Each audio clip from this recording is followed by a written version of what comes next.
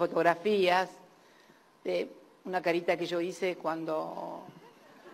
que no la hice realmente. Las caritas de Cristina.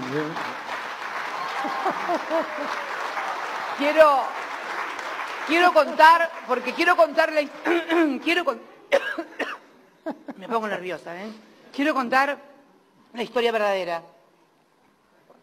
En realidad, cuando me extendió la mano, debo ser sincera, sí, para explicar un poco por qué esa cara, que no es que la puse, me salió. Me salió. Me salió. Pero voy a explicar por qué me salió esa cara.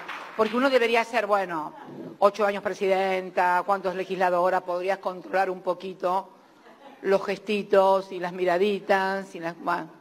Pero ¿qué pasa? Cuando él me extendió la mano, quiero contarles que por un instante pensé en no dársela. O sea, por la cabeza mía, aunque usted en, segundos, pensé, se la doy, no se la... No, la verdad que no se la quería dar.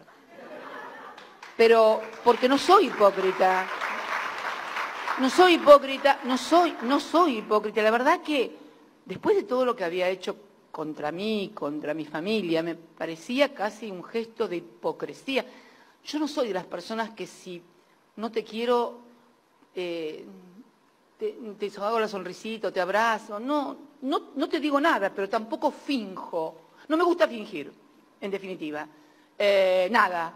No me gusta, mis sentimientos son mis sentimientos y los respeto, me respeto a mí misma. Pero bueno, es la cuestión que cuando extiende la mano yo le digo, pensé milésimas, no, no se la doy, no se la doy, pero ¿qué, van a decir? Y, ya mañana va a ser un escándalo que no le diste la mano, y, bueno, y que esto y no le diste la mano, y mirá, la viste que es una porquería, una bruja no le da la mano, mirá vos, te das cuenta que esto, y me imaginaba todas esas mujeres diciendo, viste que no le doy la mano, que estoy que el otro, digo, no. Bueno, agarré y le di la mano, pero bueno, mientras pensaba todo eso, la cara se me iba transformando, y entonces ese es el resultado de la cara. Thank you.